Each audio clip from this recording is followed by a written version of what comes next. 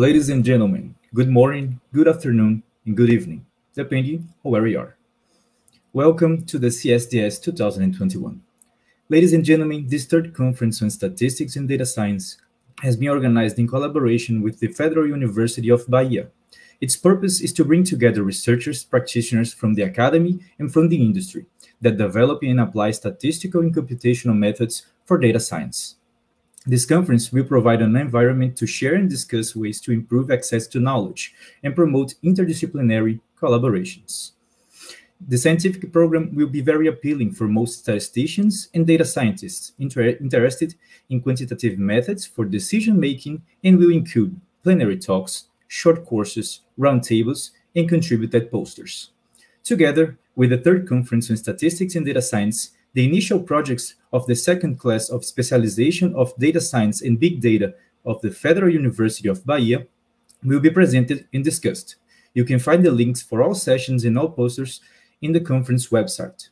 We would like to thank local, national, international institution, institutions that endorsed this conference and helped make the organization of this event possible. The Federal University of Bahia, the specialization in data science and big data, the ABE, Brazilian Statistical Association, the RBRAS, Brazilian region of the International Biometric Society, the ASA, American Statistical Association, CONRE 3, Conselho Regional de Estatística da Terceira Região, CONRE 5, Conselho Regional de Estatística da Quinta Região, the ISBIS, the International Society for Business and Industrial Statistics, the ISI, the International Statistical Institute in the Special Interest Group on Data Science from the, the International Statistical Institute. We are also grateful to our national and international guests who participate as plenary speakers, short course presenters, discussants in roundtables, and presenters of contributed posters, and of course, to all participants. We will now compose the opening table, and for that, we invite Professor Lizandra Fabio, Chair of the Organizing Committee of the CSDS 2021. Professor Giovanna Silva, Head of the Department of Statistics of the Federal University of Bahia. Professor Evandro Santos, Dean of the Institute of Mathematics and Statistics of the Federal University of Bahia. Professor Thierry Lobão, Research Coordinator of the Federal University of Bahia, on behalf of the Rector. And Professor Paulo Canas Rodrigues, Chair of the Scientific Program Committee of the CSDS 2021. I would like now to invite everybody to listen to the national anthem, which will be sung by the singer Raíza Soares.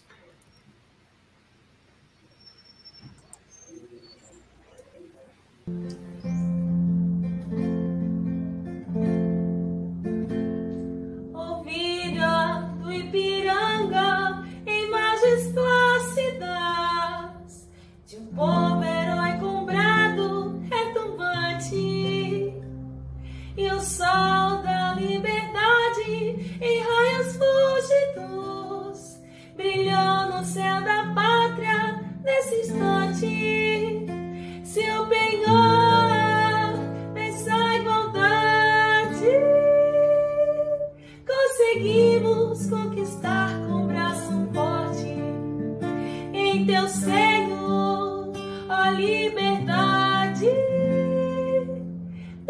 desafia o nosso peito a própria morte. Ó oh, pátria amada, idolatrada, salve, salve. Brasil de um sonho intenso, um raio vívido de amor e de esperança, a terra desce. Sim, teu formoso céu, riso límpido, a imagem do cruzeiro resplandece, gigante pela própria natureza, és bela, és forte, impávido colosso, se o teu futuro espelha essa grandeza, terra dourada outras mil és tu, Brasil, ó pátria amada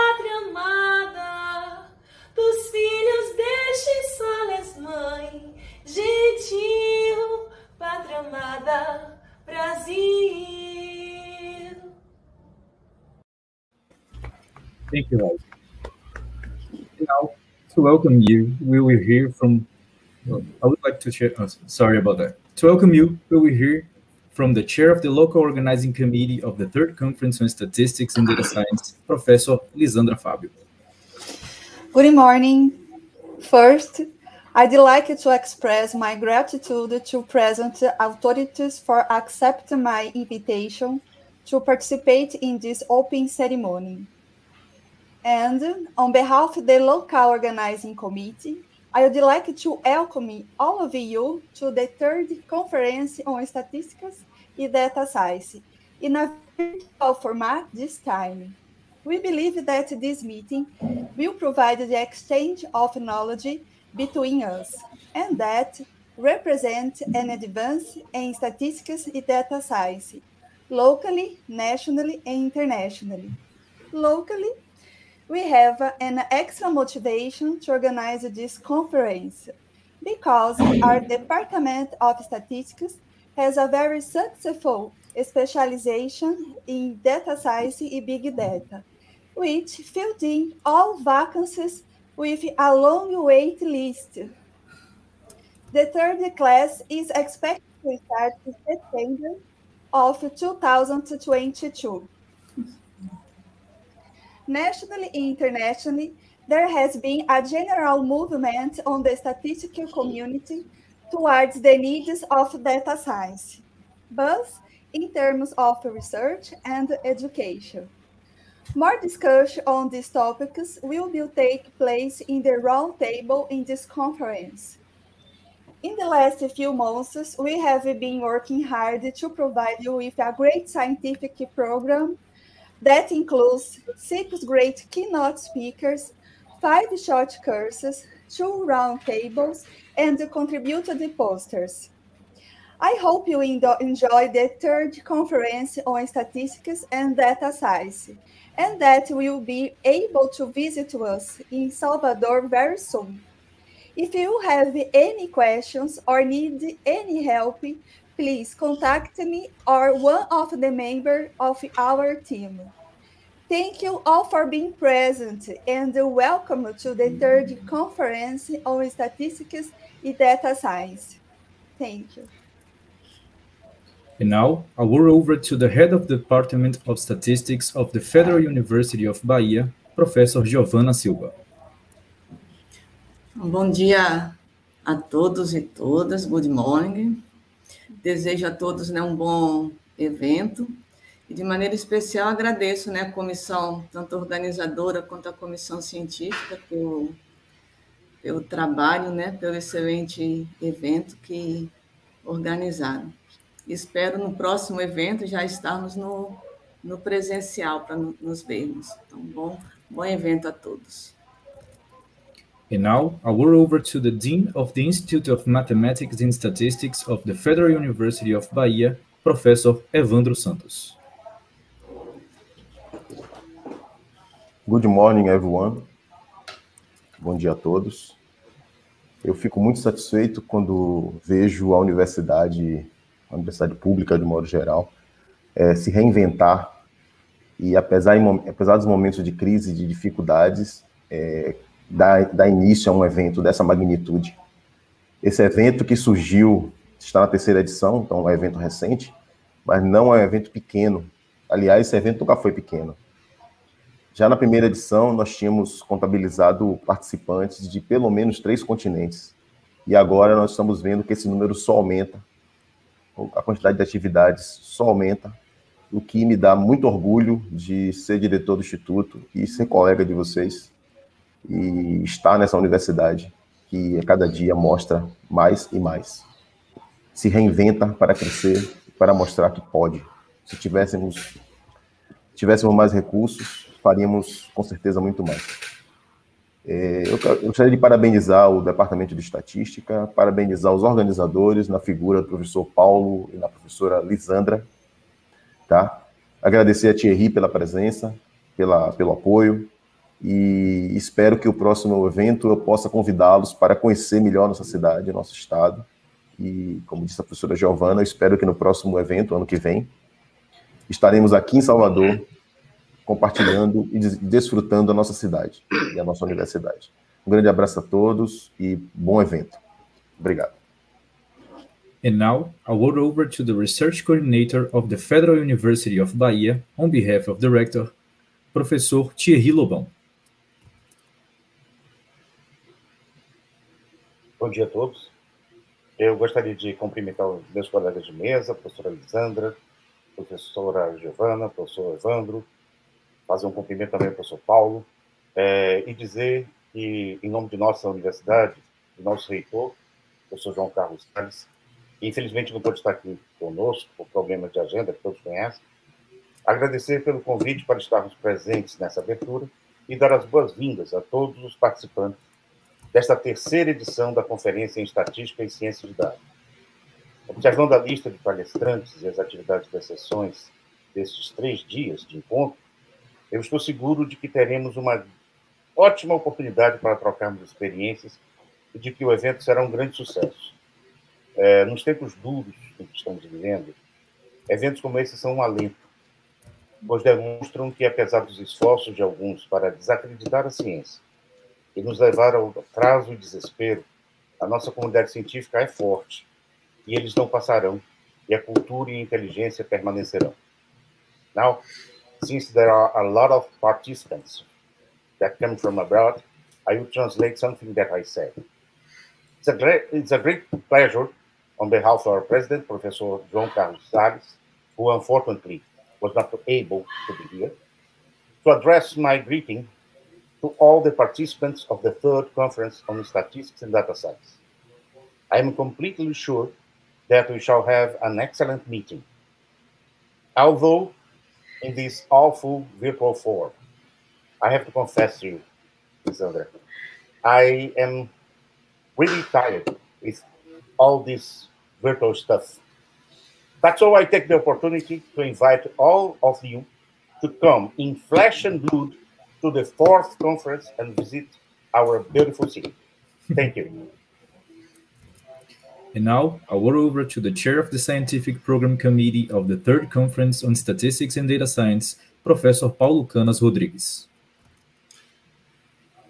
Good morning, everyone. Good afternoon, good evening, depending on where you are. You are. Uh, you are now. Uh, I would like to, to welcome all of you on the behalf of the Scientific Program Committee uh, to, the, to the third conference on statistics and data science. This is the third edition of this conference and uh, unfortunately we have it online, but there are also advantages on that. So for this edition, uh, we were yesterday looking at the list of re registrations we had almost 1,500 registered participants. So this is a, a number that it will be very difficult to, to, to have on, on site if it was presential. The, the organization of this meeting has been carried out in collaboration with the Department of Statistics and the specialization on data science and big data of the Federal University of Bahia.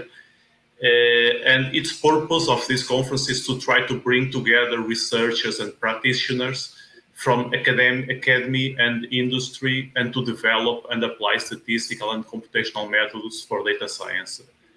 This conference will provide a forum to share and discuss ways to improve uh, the access to knowledge and to promote interdisciplinary collaborations. Uh, of course, it is more difficult when we do it uh, um, online, but uh, the, the, the, list of emails are, are available in the book of abstracts you can check it out and you can you can contact people in that way. In the scientific program committee, I, uh, we are we are really pleased with it. We have we have uh, six keynote speakers. They are they are references worldwide on statistics and data science. Uh, we have five short courses of on on on on very important topics on on statistics and data science. We also will have two roundtables, one today and one tomorrow on data science on, and data science education. It, it will be they will have discussants uh, which are which are leading scientists on on these fields. And we have one general poster session on on Saturday morning. We have one poster session session where the students of our specialization in data science and big data will present the initial projects that will be will be tomorrow, um, and uh, the, the, the, we also have, have uh, uh, the possibility. We have the possibility for people to, to apply for students and young statisticians to apply for, for an award. We will um, will share the results in the closing session on, on Saturday. And uh, I, I, would like to, to thank, uh, now it's time to thank, uh, I'd like to thank the, the colleagues in my in the, the, the opening table for their availability, Giovanna, uh, Thierry and Evandro for, for uh, taking a little bit of time from their agendas to be here with us. I'd like to thank my colleagues in the local organizing committee for, for all this, uh, the work that they, they, they have been doing. Uh, we also would like to thank all the institutions that, that were mentioned in the beginning that gave us financial support and endorsed this, this conference. And of course, we would like to thank the keynote speakers, the lectures for the short courses, the discussions in the roundtables, and the poster presenters. Uh, it's without their contribution, we could not have, have a, a, a conference. Uh, and of course, I would like to thank all of you for being here and for attending the conference. All that we are doing is for you, is for is for is for you to, to take advantage of it and to and to and to enjoy. So we wish you an enjoyable stay. Uh, unfortunately, not in Salvador, uh, but uh, uh I hope that next year we'll have the chance to have it uh, on site here in Salvador. In, it is a, indeed a beautiful city. So thank you, thank you all, and welcome to the third conference on statistics and data science. Now, we will show you a video about the beautiful city of Salvador, hoping that next year you can join us in person. Lugares são como pessoas. Tem aqueles que apenas passam por nossa vida e aqueles que deixam a sua marca. Tem aqueles sem graça e aqueles instigantes. É, lugares são como pessoas. Tem lugar que tem um incrível poder de dar um clique na nossa alma. E quando a gente vê, já entrou no nosso coração e ele está ali, instalado. Salvador é assim. Uma festa para os sentidos. O gosto do dendê fica na boca, quase como uma tatuagem no paladar. O cheiro do mar não se contenta em ser sentido o sal gruda no corpo e quer se misturar com o nosso suor. As imagens são tão carregadas de sentido que parecem ter sempre algo novo para lhe mostrar, mesmo que você já tenha visto dezenas de vezes. E a batida? Será que é por acaso que tem o mesmo nome daquilo que lá no peito faz a gente se sentir vivo? É, uma cidade que é dividida em duas partes e ligada por um elevador não nasceu mesmo para ser convencional. Aqui, o palco anda. E o mais impressionante, o povo sai andando atrás. Aqui o banho pode ser de mar, mas se preferir, pode ser de pipoca também. É o coração da África, o berço do Brasil e tem o sorriso que é do tamanho do mundo. Só quem nasceu de uma mistura pode juntar tão bem coisas tão diferentes. Salvador tem um santo do candomblé para cada dia da semana e uma igreja para cada dia do ano. Salvador é superlativa, generosa, bem-humorada e de bem com a vida. Não, não dá para ser o mesmo depois de conhecê-la. Não dá para ser igual depois de sentir suas sensações. Não dá para ser igual depois de perceber suas singularidades. Não dá para ser igual depois de sentir seus cheiros, ouvir seus sons, provar seus sabores. Não dá para ser igual depois de ouvir suas histórias. Não dá para ser igual depois de conhecer um lugar tão surpreendentemente diferente. Salvador. Você sente que é diferente. And now we will have the pleasure to listen to one well-known song from Bahia, performed by singer Raíza Soares. Hello everyone. I wish you a great conference. My name is Raíssa Soares and today I am accompanied by Leandro Oliveira on the guitar. I am now going to sing a very special song from our Brazilian state of Bahia related to Carnival in Salvador. Its name is Baianidade Nagô.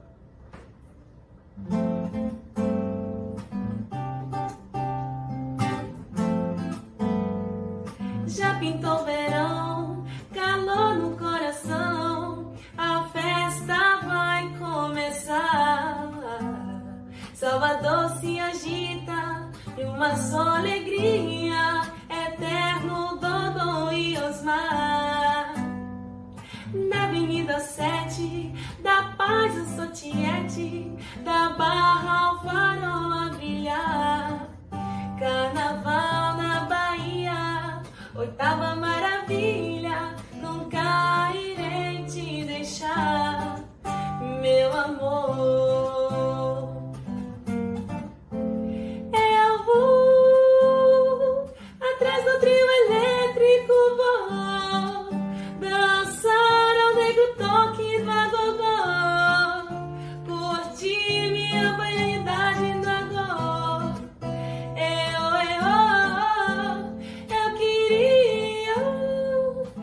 essa fantasia fosse eterna. Quem sabe o dia paz vence a guerra e viver será só festejar.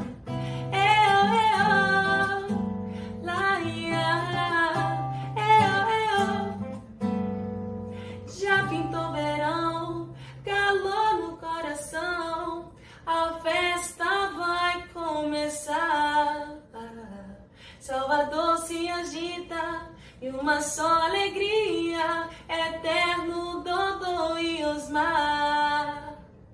Na Avenida 7, da Paz eu sou Tiete, da Barra ao farol a brilhar.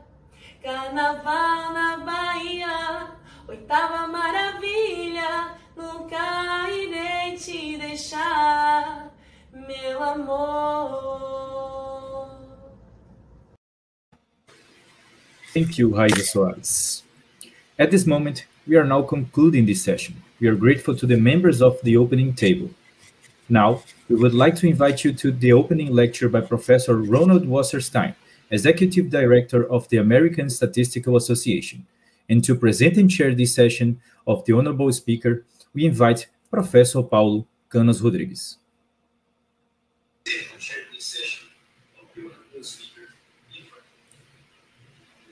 So good morning, everyone. Again, um, it is it is indeed a, um, a, great pleasure for for me to to introduce Ron uh, Ronald Wasserstein.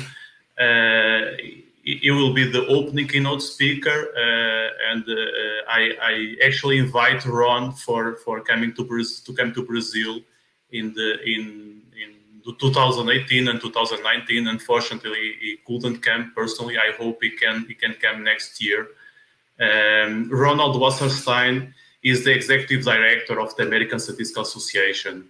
Uh, is uh, he assumed the top ASA leadership in 2007.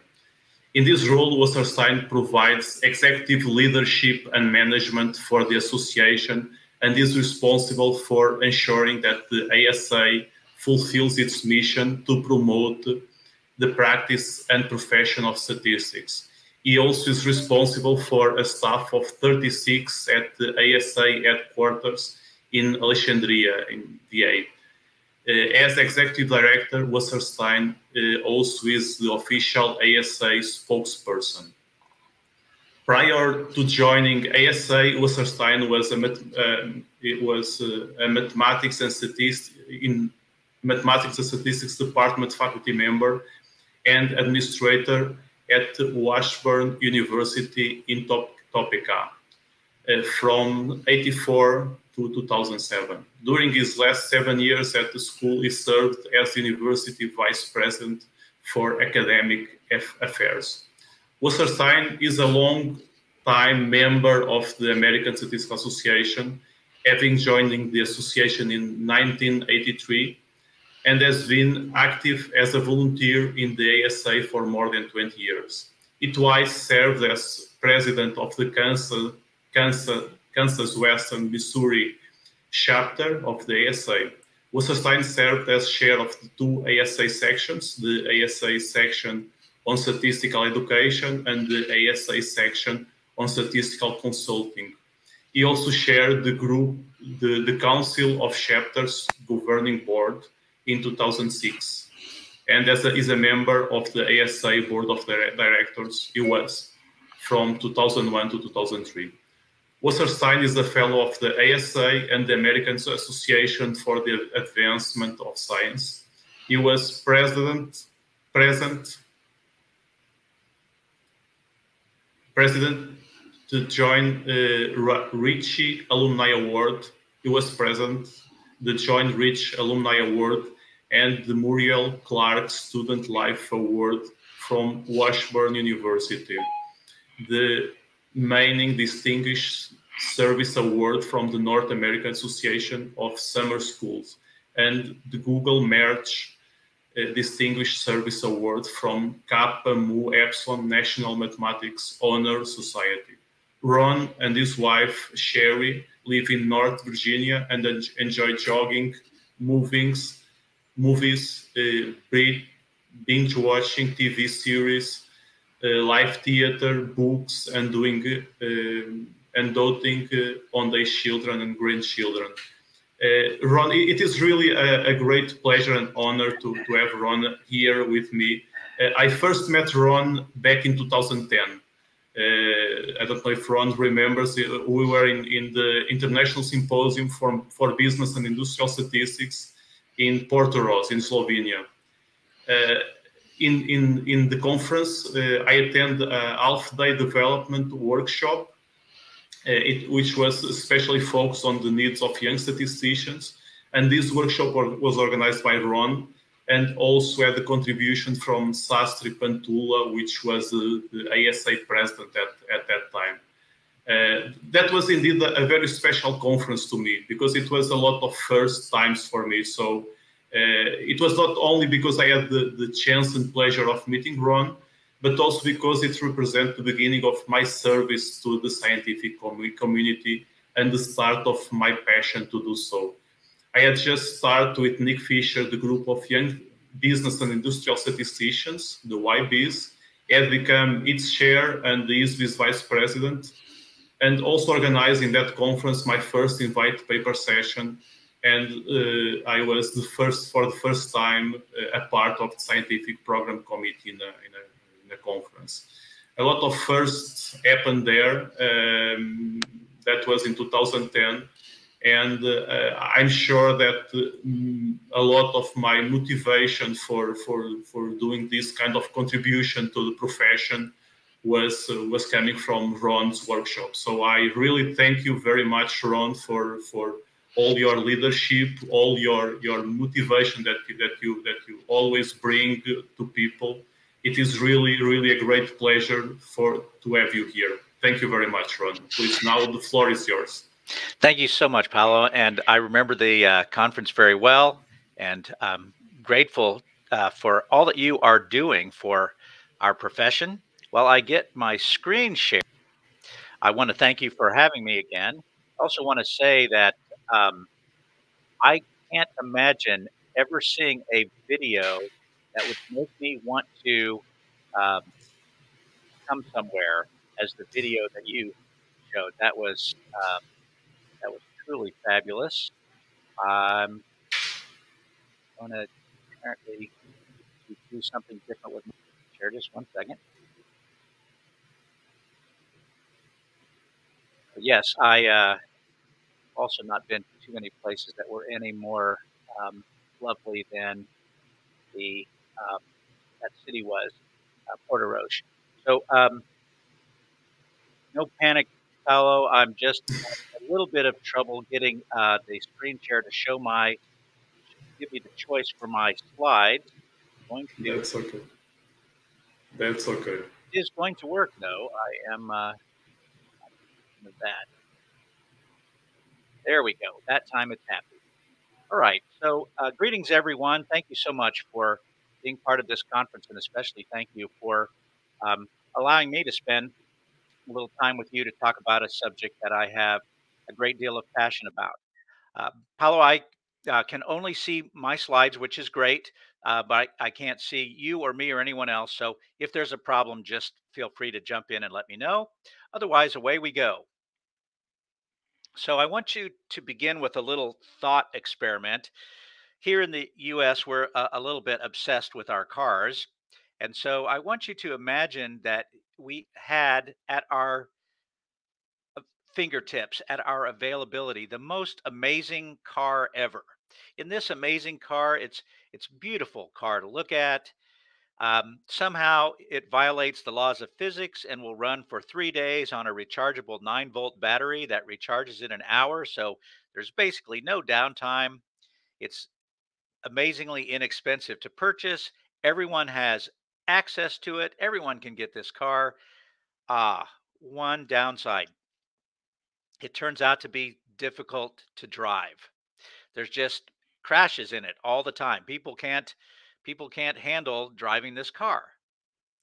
Well, I'm making an analogy here to what I will call the 100 year test drive of the concept of statistical significance, um, made uh, well known beginning in uh, with Fisher's book in 1925. And almost ever since the idea of statistical significance came along, there's been concerns about it. To give you some idea of the amount of time over which uh, there has been concern. There's this paper by uh, world famous statistician uh, David Cox, Sir David Cox, I guess I should say. And he wrote that's been widely felt, probably for 30 years and more, that significance tests are overemphasized and often misused, and that emphasis should be put on estimation and prediction. And he wrote that in 1986. So if we take 30 years away from 1986, we get to 1956 and well, I'll just own up. That's that's the year of my birth. So for at least my whole lifetime, my whole 65 years, this has been an issue. Looking back even before my birth, there's this book by um, uh, Fred Mosteller. He wrote that the main purpose of a significance test is to inhibit the natural enthusiasm of the investigator. In 1963, uh, a well known statistician at the time, Cherry Clark, wrote this paragraph that you see here, and I'll just emphasize the second part of it. Significance tests do not provide the information that scientists need, and furthermore, they are not the most effective method for analyzing and summarizing data. And one more this is from an article in 1994 with the clever title The Earth is Round, p less than 0.05.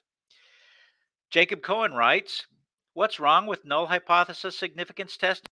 Well, among many other things, it does not tell us what we want to know. And we so much want to know what we want to know that out of desperation, we nevertheless believe that it does. We convince ourselves that, that significance testing works in ways that it really does not. So, the point here is that some of the things I'm going to discuss today are not at all a new emphasis, but we're trying to renew the focus on the problem. And getting back to the car analogy, I just want to say that at some point we have to realize that if the car keeps getting wrecked, more training, more training, more training is not going to do the trick. People have argued all these decades that, well, the problem really isn't with the tool. The problem is with people not being able to use it well. So we just need to teach them better. But sooner or later, you start to realize that that's going to be uh, the problem. A quantification of this appeared in a, a, an ASA journal that I'll talk about more uh, later. But um, in this article, Ray Hubbard was that on the one hand, the number of citations of articles that warn people about problems with statistical significance has grown over the last six decades, over the course of my life. People are citing the problems, and yet at the same time, more people are also using that tool. And um, not very effectively in many cases. Okay, so that's kind of a, a, a warm up. Let's back up a minute and, and make sure that we all get on the same page here by talking about very briefly what is a p value. So, in the ASA statement on p values and statistical significance, that I'll say more about in a few minutes, we offered an, an informal definition saying that the p value is the probability under a specified statistical model that a statistical summary of the data, for example, the sample mean difference between two compared groups, would be equal to or more extreme than its observed value. We thought that was a simple, straightforward definition, but a reporter said that it was about as clear as mud. Okay, so you, you can't please everyone. We could have gone this way. This is a uh, technical definition of a p value. And maybe for some people in this audience, this is a useful definition. Most of us who aren't um, thinking about measure theory all the time, not quite so much. So, what is a p value? Well, instead of um, hassling over definitions, let's just uh, walk through a description instead. We're investigators and we know some things, and we want to know more things because we're curious. So we design an experiment to help us know more things. We collect data from that experiment. We numerically summarize the results of that experiment, and then we try to figure out what we know as a result. Well, in that numerical summary part, we summarize the data into a number that we call a statistic we compute the probability, we compute a probability from that statistic, and that's what the p value is. It's a probability value. And if the p value is small enough, then we say that it is statistically significant. And what is small enough? Well, for historical reasons, that has uh, typically been set to be 0.05. So, a quick quick example again to make sure that we're on the same page. Um, this is from the uh, Public Library of Science um, Medicine. The, there's a new treatment uh, being compared to a placebo to improve TKV, that is total kidney volume. anything about total kidney volume, but it's a measure of health in kidney patients, and it's measured in milliliters. So after one year, the difference in the median total kidney volume, that is the difference between the median difference between the treatment placebo was 96.8 milliliters. Um, and there is a rather wide 95% confidence interval for that measurement. So we're just going to uh, take, uh, oh, so value turned out to be 0.027, which we will round off to 0.03 for this discussion. Okay, so that's an example that we'll use as we go forward here in the next few minutes. So I want to zero in on that 0.03. That's the value. How did we how did we get that number? Well, to get a p value, you have to assume a bunch of things. The key assumption, the well known assumption, the one that everybody thinks about that does this, is that we assume in this case that there's no difference between the treatment and the placebo. And it's important that you hear those words that we we compute this p value on the assumption that there's no difference between you. we also have to assume a bunch of other things that if I had more time, we'd get into. They're important uh, and they're often ignored. All right, so we have this 0.03. What does it mean? Well, there's no difference between the treatment and the placebo. And if all those other things I talked about uh, uh, are also true, all those other assumptions, then the difference, uh, then the probability that we would observe the difference that we found, that 97 milliliters, or an even larger difference, is 0.03. The, um, the p value is often misinterpreted. It's misinterpreted all the time in dozens of ways. I'll illustrate for you uh, some examples, although I don't have time to sh show what the problem with each one is. But for example, a p value of 0.03, some people will say there's only a point, only a 3% chance that the placebo was better than the treatment. Nope. There's only 3% chance of getting the result that we did by chance alone. Sorry, that's not also that's also wrong. The probability that the null hypothesis is false is 97%. We can't uh, measure the probability of the null hypothesis at all with um, being false with this uh, this way here. Um, and uh, dot dot dot because there's literally a couple dozen common misinterpretations. So what can we conclude? All right, so we could have had really bad luck in our sample, or one or more of our assumptions was wrong, including the one that we assumed about the treatment and the placebo being no different.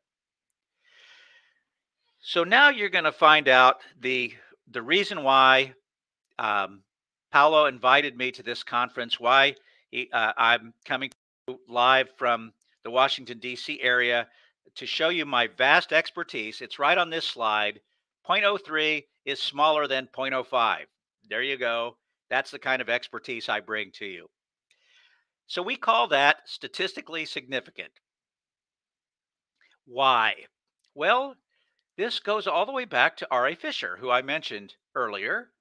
He's the first person to use the word significant to describe this phenomenon. And he meant that to say that the result was worthy of further scrutiny. That means it should be looked at more carefully you know, all of us love to use the undo button on our computer. They help us fix a lot of things that um, that are harder to correct without it. And those of us who are old enough to remember times before the undo button especially appreciate the undo button. And if Fisher had an undo button for his life, he would probably have used it based on his later writings. He would probably have used it to undo calling this significant because the word means more than um, than he meant it to. It has in common language a different meaning than uh, he intended. It means something very different than worth further scrutiny. Now, I don't know how significant translates in the language that's uh, that's your um, birth language, but let me just talk about it in English a little bit by talking about opposites of significant. Now, remember the point I'm trying to make is that the word significant means something different in common language than Fisher intended for it. So, opposites of significant are insignificant, unimportant, meaningless. Those words sound way more than the opposite of worth further scrutiny. We can think about significant as an adjective you could have a significant increase. That could be good if it's in your paycheck. You could have a significant event like a wedding uh, uh, or um, a baptism. We even say in English a significant other to refer to someone with whom we have a, uh, a close personal, uh, perhaps romantic relationship.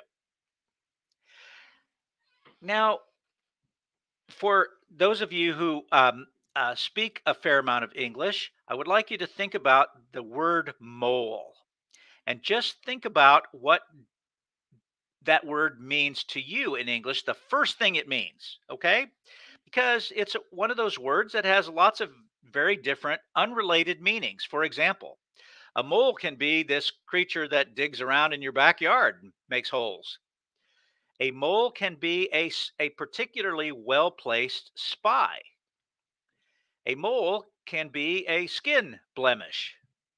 And if you're uh, a scientist, you know that a, a mole is a, um, a measure in, in, um, in chemistry as well.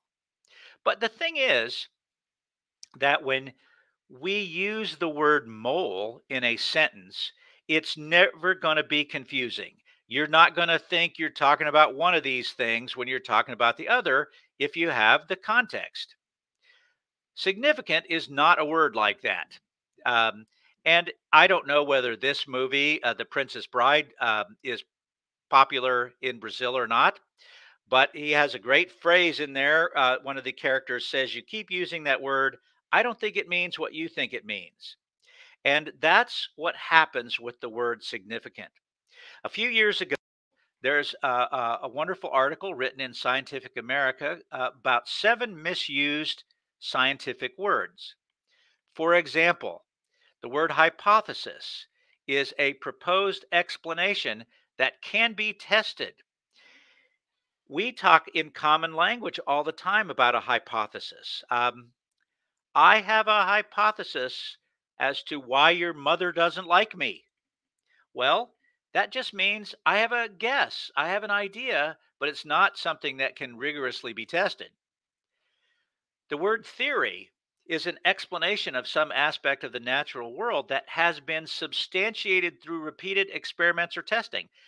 A theory isn't just something that you're sitting around and you come up with an idea and you claim that that's your theory, at least not in the scientific technical definition of the word.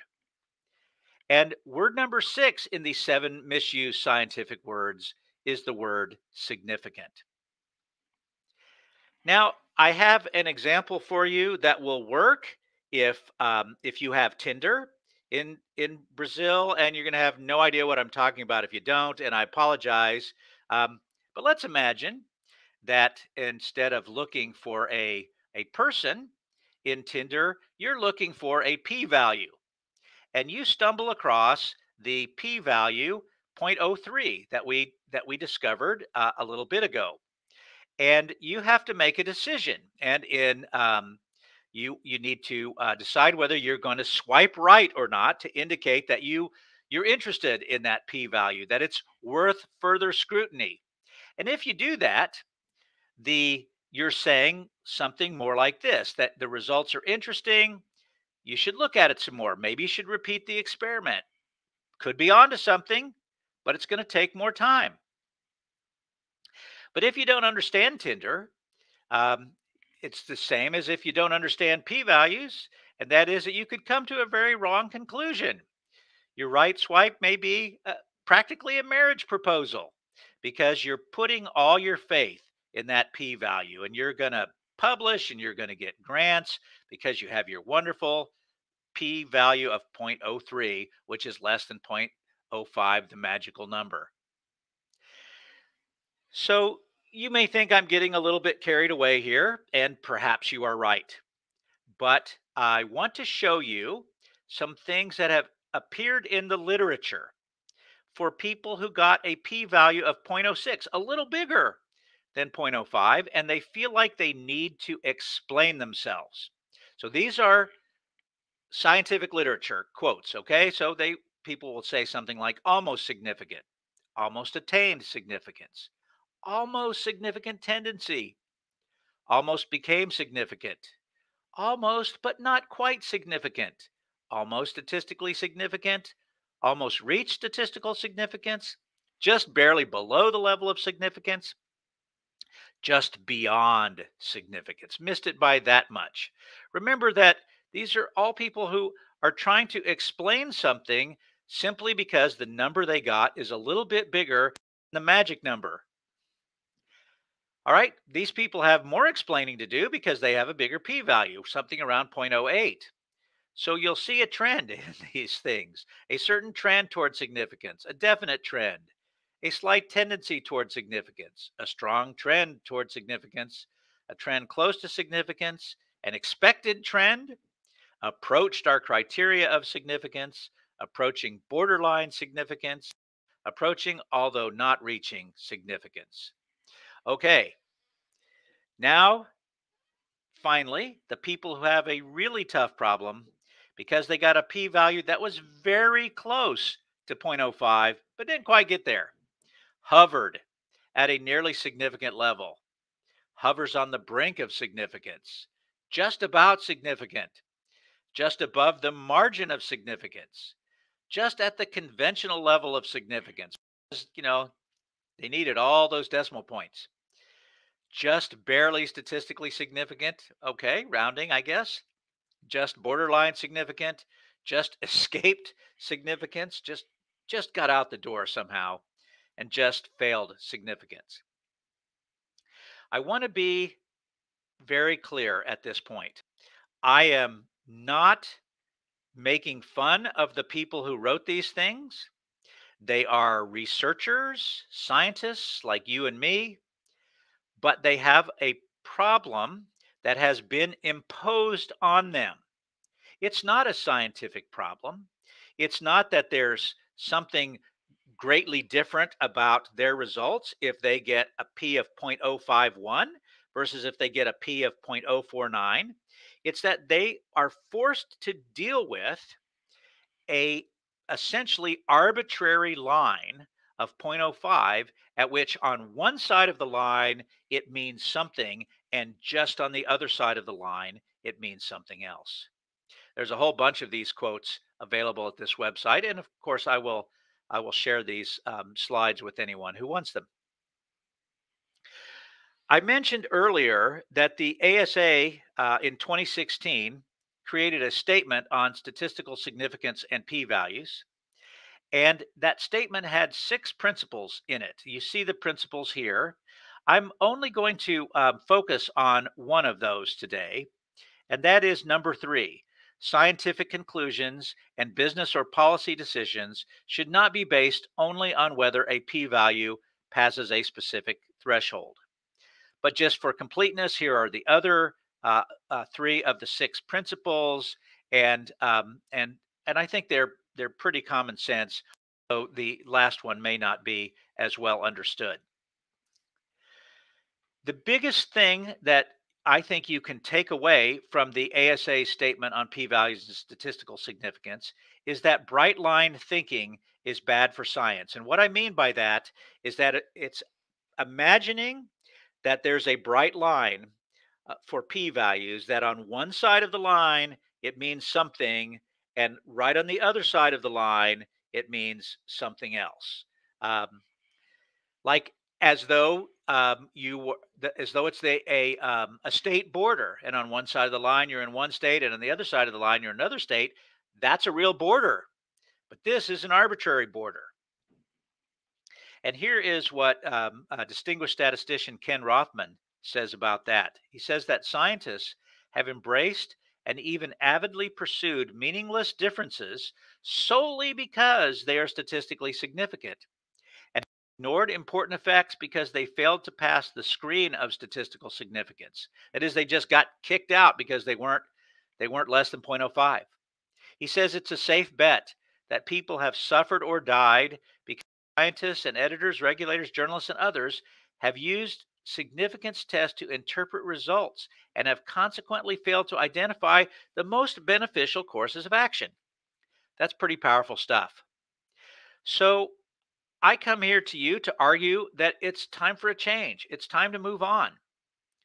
And I, along with many other colleagues, argue this point in a special issue of the American Statistician in 2019 uh, that's full of articles about this issue and has a lead editorial that I wrote with my colleagues Allen Schirm and, Nicole Lazar, called Moving to a World Beyond P Less Than 0.05. And we say it's time to say goodbye to it. The 100 year test drive of statistical significance is just not working out. Now, why? Well, I'm just going to summarize what I've uh, showed you so far and add a couple of things. So, I've argued that significance has lost its meaning, that it's not what it was Fisher meant it to be. It's used in the wrong way um, in, in science all the time. I've shown you that bright lines lead to bizarre behavior, people trying to explain themselves in ways that they shouldn't have to. I um, showed you that uh, uh, in an early slide that decades of complaining, of warning people about this have made no change. In fact, we argue that uh, in the uh, editorial that I referred to a moment ago, that a label of statistical significance adds nothing. It gives you no more information than what was already conveyed in the value of P. And I haven't talked about, but will very briefly, something called the file drawer effect. The file drawer effect, um, one way to look at it could be uh, could be like this. So imagine that there is a treatment for, you know, um, uh, a rash or something like that that uh, uh, that that doesn't work. Okay, it just doesn't work. And so imagine then further that we do 100 studies of this treatment using p less 0.05 as our um, as our threshold. Well, then on average, five of these studies will show that the that the treatment works, and the other 95% of the studies will go into a, a file drawer of things that did not work. Well, what happens then is the um, the five percent, the five studies get published, and then essentially there's a 100% error rate um, in in the literature. Uh, so a lot more to say about that. Not enough time. Okay, I need to take a moment before I continue to um, clarify and make a disclaimer. Okay, not talking about getting rid of p values. For some reason, there's a lot of people who hear uh, this message and think that we're talking about getting rid of p values. Nope. It's about it's all about the arbitrary threshold of p less than 0.05. And I also need to be clear that while yes, I am the executive director of the American Statistical Association, I'm speaking for myself today. Um, the 2016 ASA statement that I showed you bits of a moment ago is a statement of the association. Other things are not. The editorial that I co wrote, all those 43 articles in the American Statistician special issue, those are not official statements of the ASA. There's also a recently uh, published a uh, couple months ago a task force uh, statement on um, statistical significance and reproducibility. Uh, that's also important, but not an official statement of the ASA. All right, now I want to get to the heart of this. Why does it matter? All this stuff that I'm talking about, is it just um, is it just uh, academic worrying foolishness? So what I'm going to do is I'm going to show you two examples. One is trivial. It doesn't affect the the world in any way, and the other one is very much different than that. So a few years ago, there was a phenomenon, I think it's still around to a certain extent, about something called power posing. Power posing is the idea that if you uh, if you if you assume certain physical postures, can help you have more uh, assertiveness, more confidence, etc., etc. It was made famous by this TED talk. Um, your body language may shape who you are you can see that it it's been viewed, you know, over 50 million times. And the idea is that if you hold like say like say, you know, I was real nervous maybe before giving this talk. And so before I got online with you, I assumed certain posture for 2 minutes. And then that posture is supposed to supposedly from this study it's going to make me feel more confident more powerful more willing to take risks um, because and here's the key two words in there in that middle bullet found statistically significant changes in testosterone and cortisol levels in people who used high power poses versus those who used low power poses. Well, what are we talking about here? This is a high power pose, according to the study. All right. And these are also high power poses. The one on the right um, is actually got a name. It's called the Wonder Woman pose. These are also high power poses as well. Okay, they reflect relaxation, they reflect confidence. These are low power poses, much less confident. This is supposed to be somehow the lowest power pose of all. Well, what went wrong? I mean, this was a study that when it was it came out, then people tried to reproduce it and they couldn't. They couldn't they couldn't get the same results at all. It just didn't reproduce and and arguably it's because too much dependence on statistical significance. When you get a result that is super counterintuitive that all it takes to improve your confidence to bring up your, your your the chemicals in your body is standing a certain way for 2 minutes. For before you're ready to believe that you should do more study. You shouldn't base it only on one study.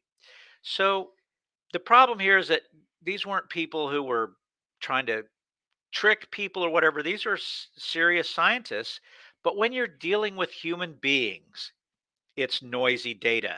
It's you can't just rely on the results of one experiment.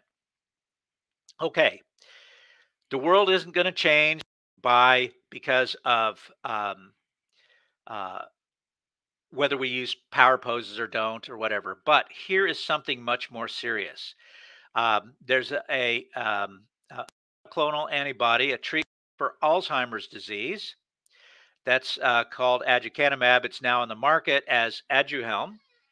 And uh, I don't know how Alzheimer's uh, translates into into your uh, language. Maybe it's the same word, but it's a very serious disease. Um, it's it's it's a terrible disease. And here is the plot. Here is the story about this drug that I want to share with you. So you'll see where statistical significance comes in. So this drug has been shown to, re to remove these clusters in your brain that are called amyloid clusters, okay? And those build those buildups, those amyloid clusters have been associated with Alzheimer's disease. That is you people with Alzheimer's show those clusters in their brain. So the question is whether if you got rid of those clusters, would it reduce the effects of Alzheimer's? If you could lessen them or get rid of them, would it reduce the effect? But so far, no drug has succeeded in reducing these effects. So the company Biogen stopped two simultaneous clinical trials on the effectiveness of this drug back in March of 2019 after futility analysis indicated that the study would not likely demonstrate efficacy. Excuse me. So they realized it wasn't working. Okay. But because of the nature of the study, you know, lots of trials going on all over the place, data continued to come on in from the study, even the study itself had been stopped.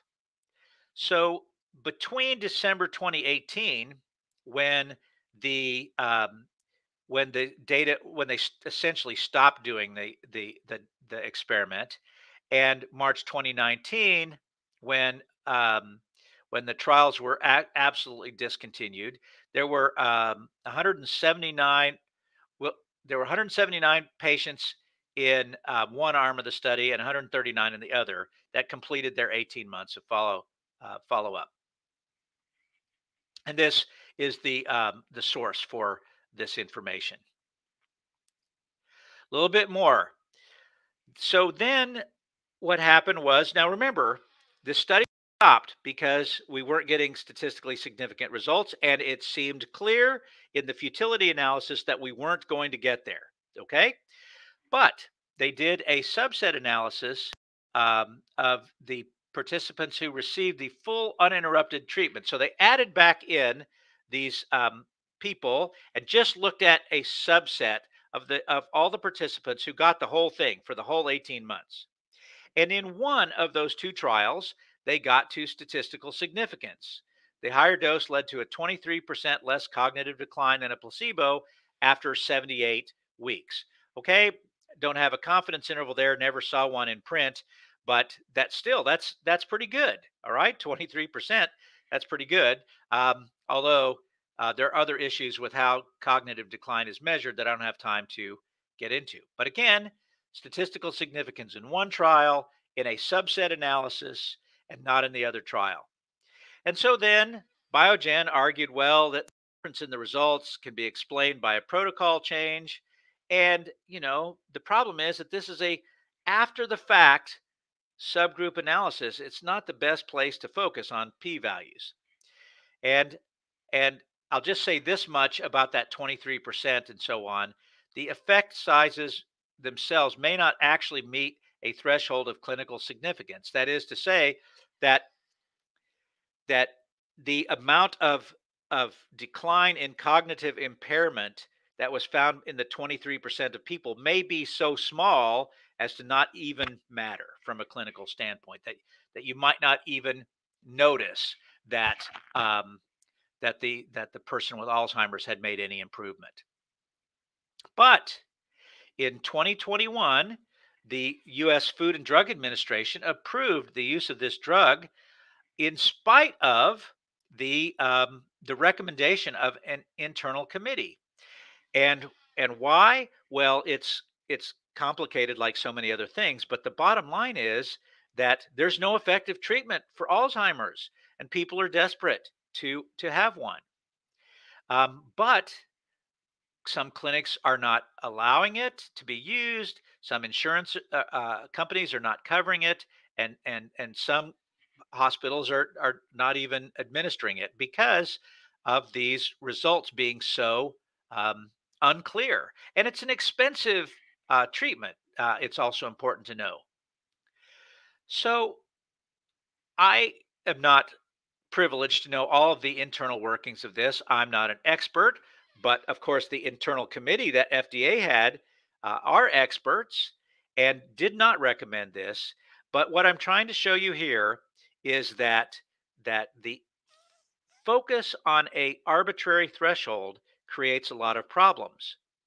And it and now because the drug's approved, the studies will go on, but it may be many years before we actually know what um, whether this um, whether this uh, drug worked or not. So I argue that change is needed, but change is never easy.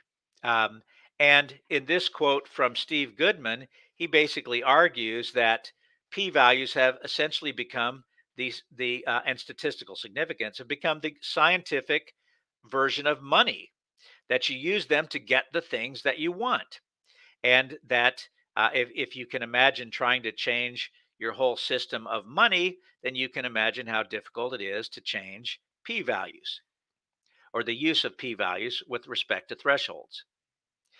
So, what do we do? What do, what do, what do we do instead? Well, um, that is, if we're telling everybody to stop using thresholds, what should we do? Well, um, I'm going to talk a little bit about that, but in this March 2019 special issue of the American Statistician, which is available online and is open access, you'll see some answers. But I think it starts with asking a question, a thought exercise. If you didn't, if you'd never heard of P less than 0.05, if that wasn't a thing, if Fisher had never brought it up, then what would you have to do to get your paper published your research grant funded, your drug approved, or your policy or business eh, recommendation accepted.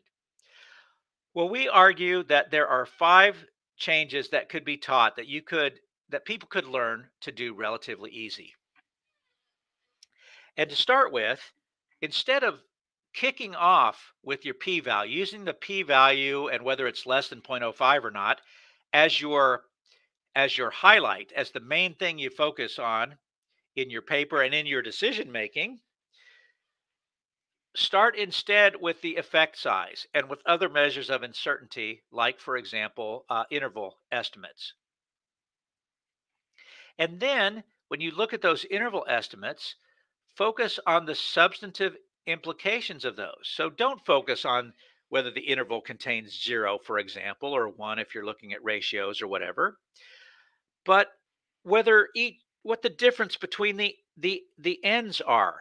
You saw that confidence interval that I showed uh, in the example at the start of this um, uh, with the total kidney volume, and it went from something like 11 to 190 milliliters. Well, I don't know anything about kidney volume, but my guess is that there's a lot of difference between those two things, and that the the the 11 may have may still be valuable or maybe it isn't. And the the 190 may be very valuable or maybe not. I don't know. That's where you bring your expertise in. That's where you talk about those things.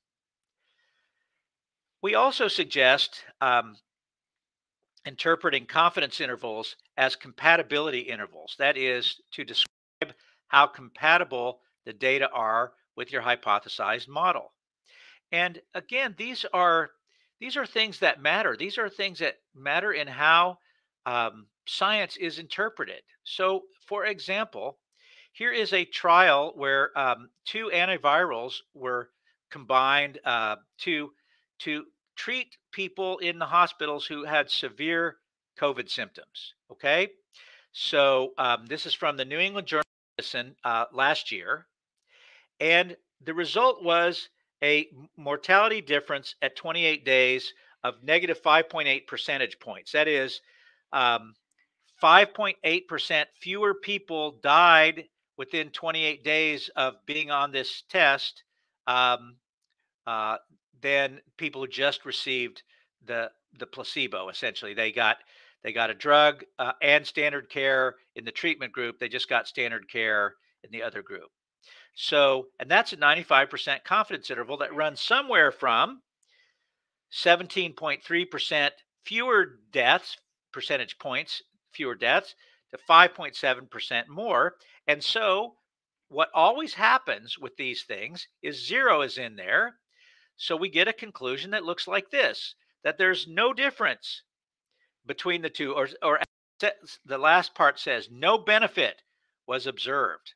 Okay. Well, that's um, not a conclusion that we should necessarily rush to because a 5.8 percentage point reduction in mortality is a is a deal. So we can think about this in a different way. And again, I, am going through this fast, I know, so so I will leave I will leave the slides. But instead, let's talk about uh, as as compatibility of our data the model. Um, the uh, so, for example, we talk about the whole range of the confidence intervals, possible mortality differences that are highly compatible with our data, given our model, range from minus 17.3, which would be a very large decrease in mortality, to 5.7, which would be an increase in mortality. So, why? Well, our trial was small, it included only 199 patients, all had severe COVID 19, and further study of this potentially effective treatment is needed. In other words, let's not just throw this out without further study. And then, as I will argue uh, here in just a moment, there's a whole bunch of other things that you should look at as well, and I'll show you what I mean. We recommend that um, presenting p-values, you present them as continuous, and I don't mean like with lots of digits, but you don't just you show the p-value. You don't say whether you don't just write it significant or not. You don't put it, you know, just put one asterisk, two asterisks, three asterisks. You report the p-value itself.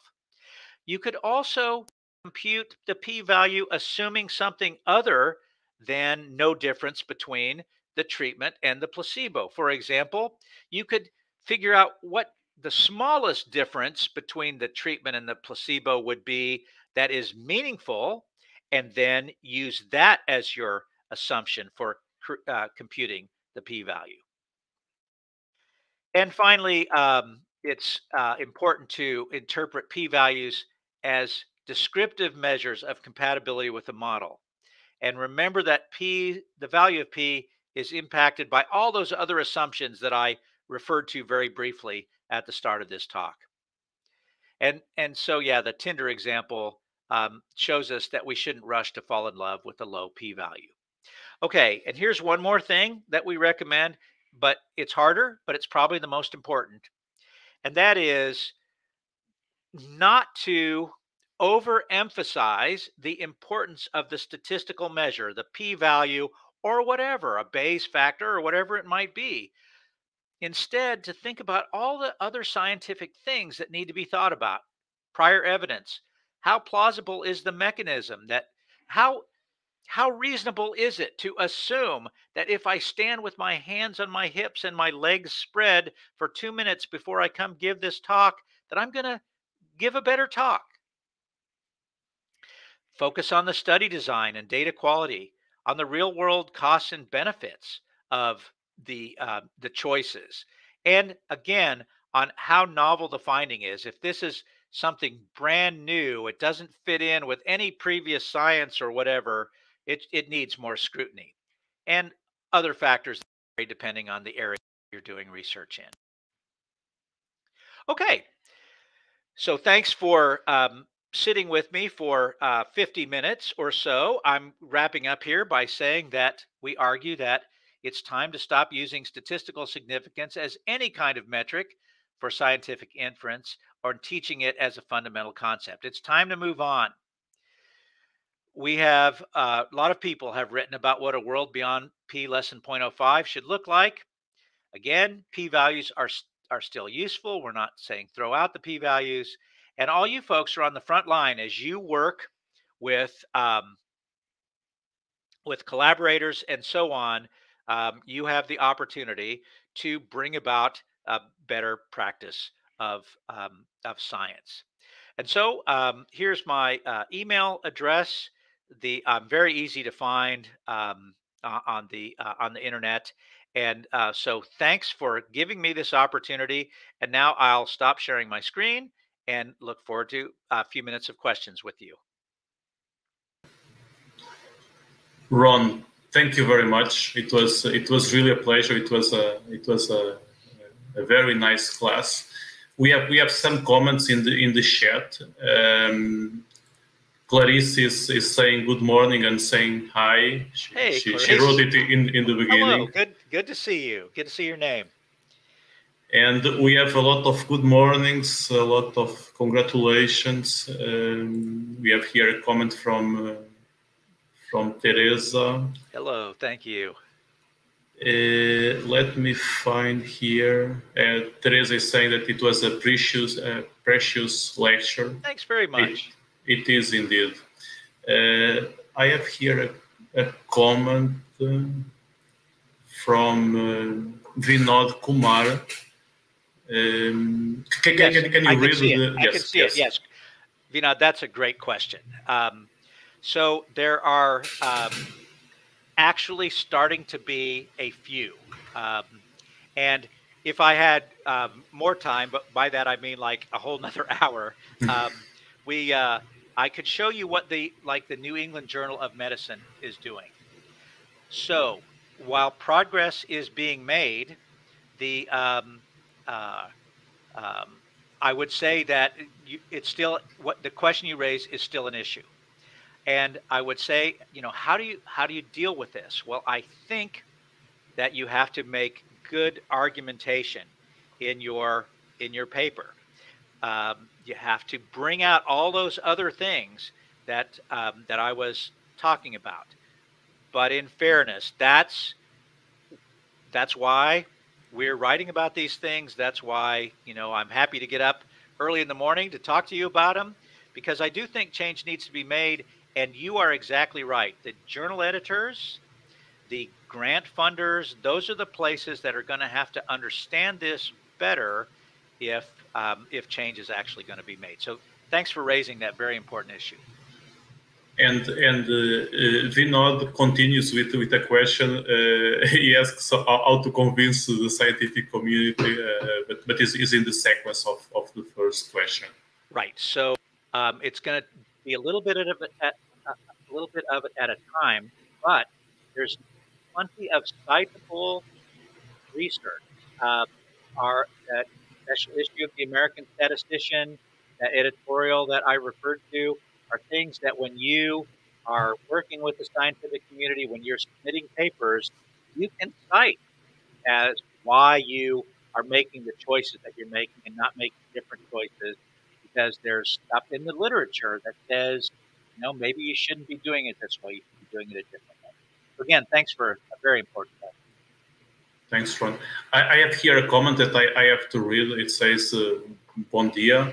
I'm enjoying this talk a lot. It's like a new cover of an old song that needs to be sung, every day, not only for its lyrics, but also for the wonderful uh, delivery of the performer. Yes, indeed. I think all of us uh, uh, agree with that. Well, thanks for that comment. And also, I, I have to say two things, or maybe more. Um, I love the analogy of a cover for an old song. I think I'm going to use it uh, when I give future talks on this. Um, even though I would never be singing a, any kind of song because I'm terrible at that. And also, I have to say, Isabel, that that's my granddaughter's name. Also, I'm very proud of that. So, so thanks for your comments. Thanks. I have here also uh, a question from Daniel Alba Quelaro. I see it. Um, so um, I would say yes, um, that there have been similar uh, controversies. Um, there, uh, there was a study in particular of a, uh, a drug that is now in use um, called remdesivir, which is uh, uh, treatment. Again, it's another thing to treat people who are already like hospitalized. And the the study of that was very interesting because the um, if you were um, the more sick you were, the better it was to use that drug. Um, so if you were on a ventilator, it was more effective to use the drug than if you were receiving, you know, oxygen some other way. You weren't as sick, um, and and so on. But there was a point at which um, you were still in the hospital, but you weren't as sick, where the results showed um, that uh, uh, a confidence interval showed that you know it, it could make you better, uh, or you know it could show improvement, or or it could actually make you less well or less improvement. I guess I should say. I'm not saying that very well, but you get the idea.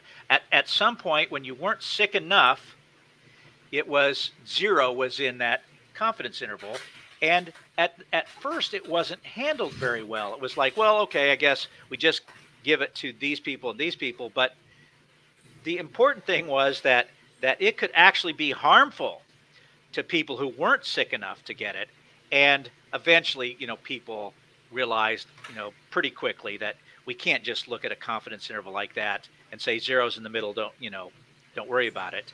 So um, also if i could say just a little bit more to daniel's uh, question i think one of the things kind of related to statistical significance but more related to how we do publications. Uh, um, one of the things that happened in COVID times was that there was a rush to put papers out there.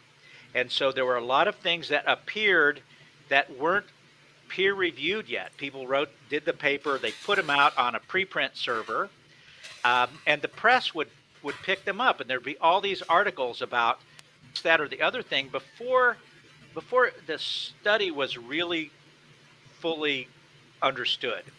And as you can imagine, that creates a lot of confusion for people if they see something in the news one day that says this is good, and then a little bit later they see this is bad, and that happened plenty. So, um, so yes, I um, even the uh, very famous and highly renowned in this country, Anthony Fauci, misspoke about p values and statistical significance in a press conference that he gave.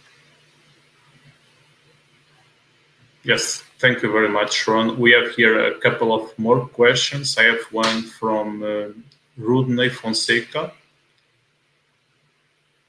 So I see it. Uh, thanks. So that's a that's a great um, uh, a great point. I do think that um, helping people understand false discovery rate would be a um, is a good idea. Um, the uh, so yeah, I think I think that's all I'll say. I think that's a, a, a point that people should should be aware of. And and um, my my colleague uh, Yoav Benjamini, who you know is the I guess the the father of of false discovery rates, I'm sure would I'm sure would agree. He and I um, are are friends, but we disagree on a lot of things, but we do agree on this one. Thanks, Ron. Um, one more. Ah, so, okay. Uh, thank you for this question as well. Um, I would say, and, and, if, if you don't mind, Ron, I, I will I will also add a, a comment together with that. Uh, it's a comment from from Lilia. Uh, that that also also talks about. So maybe you, you can you can uh, comment okay. on both. Thank you. That's that's great. I'm, I'm happy to do that. Um, I think that, um, uh, and we, we, we make this point in that um, that editorial that I referred to. That we should always use multiple multiple tools, multiple methods of analysis for things. So absolutely, we should um, consider uh, and, and and use um, other things like Bayesian statistics. At the same time, so I'm a big fan of doing that. Let me be clear. At the same time, we don't want to walk uh, into the same trap with Bayesian statistics where we get, you know, we, okay, a um, a Bayes factor of 6.87 or, or or higher mean I'm good, okay, uh, or posterior odds of this, that, or the other are the are, are beyond a certain point are the magic thing. Um, thresholds are thresholds are not good, um, it, and I could make the, the, same case with regards to that in in terms of Bayesian methods, but I haven't been seeing people doing that with Bayesian methods, and they do it like crazy with p-values. So thanks. These are great questions, and I do have to say that I've never been on this platform before, and the fact that you can pop the questions up for the speaker like this is great. Thank you. That's very helpful. Thanks, Ron. I think I will. I will only add one more question. Uh, I think uh, there are uh, some some further questions, but um, I think they the, the, they can they can write you directly please, by email. Please. I, I will put on this question here from from Gali Mesuwski. So thanks for this comment, and um, I wish you uh, good luck as you continue to um, uh, with your studies. You will, of course, um, be in classes where they tell you you this is what you have to do. You have to um, use statistical significance to get a good grade in this class. Get a good grade in that class. But while you're at it, you might want to um, cite some literature saying, you know, there are there are there are different suggestions than just using statistical significance. So thanks for being here. Thanks for this comment, and good good luck with your studies. Thanks, Ron. Uh, I, I, apologize to all other colleagues that made questions. If if you can follow up on that, you can you can write to Ron directly. Uh, I, do. I, I will answer you. Yes, I, I, I, will, and and Ron will answer very quickly. Um, I, I, I, will end up with a question of myself. So in 2016, you had all this this discussion or this statement and the special issue on the American statistician. Uh, is there any? Do you have any idea whether things have changed uh, in the use of p-values before and after that? Is there any kind of uh, of idea on, on that? So, Paulo, I actually on Monday just gave a, an hour long talk on exactly that. Um, and so when I when I come to uh, Salvador next year, I hmm. can um, I can answer that question in great detail. I will say this: there have been some changes here and there, some good ones, um, but we haven't gotten nearly as far as we would like to. Yes. Thank you very much, Ron. Uh, so th this is already a promise. So everyone, everyone heard that it is recorded. that next year you'll be here with us. So uh, thank you, thank you very much. Uh, Thanks so much it was, it was really a pleasure. It was. Uh, we had always between 90 and 100 people uh, on YouTube. So we we are very happy with with your talk. Thank you very That's much. Great. That's great. And well, Paulo, take care of yourself. Okay. Thanks for having me, and uh, I'll, I'll see you next year. Yes, or yes, for sure, next year. Uh, let me let me now tell everyone that uh, we will have now a, a, 25 minutes break, and after that we'll have the second keynote speaker, which will be João Carreira. is um, is a, a, research scientist at DeepMind. Is going to talk about gen general perception. So you are all welcome. Please don't forget we will write down the link on on YouTube. Uh, the link will be in a different in a different window. Thank you very I'll much, send, Ron. I'll send you the slides. Take care. Thank you. Thank you very much. Thank bye you. Bye bye.